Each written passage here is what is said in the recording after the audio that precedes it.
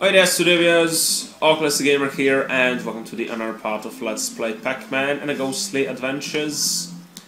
Let's go and roll map, Pacopolis, and in the previous part we played Gotta Bounce. Now it's time for Rubber Pac Challenge.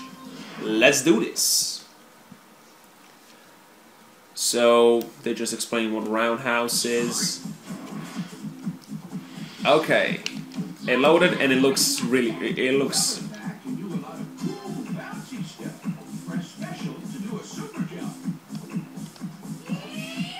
Oh yeah. Now this is something you already learned uh, through the level you played before, so...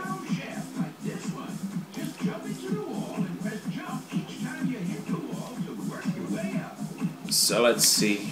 Okay. Bam, bam, bam. Okay.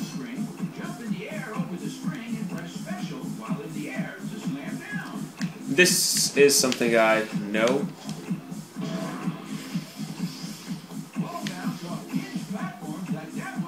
Okay, thanks, Professor. Now, uh, how about I do my stuff? Wait, something is up there, definitely. Yep, I was right. Alright, we're gonna push it down. But wait. How do I get that pie? I guess there will be a way. Mm -hmm. Uh, no, I guess uh, I don't freaking care. Let's just continue. It's just some okay. We can like slowly drop down. Yeah, let's time this right.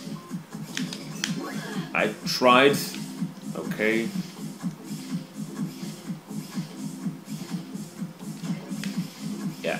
There we go.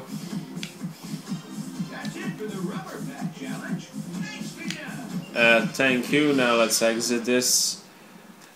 These challenges would be way cooler if it had a time limit, because uh, it would just provide better challenge. But anyways, that's it for this challenge. Join me in the next part when I'm gonna be playing uh, Dribble and Freeze. Jonathan,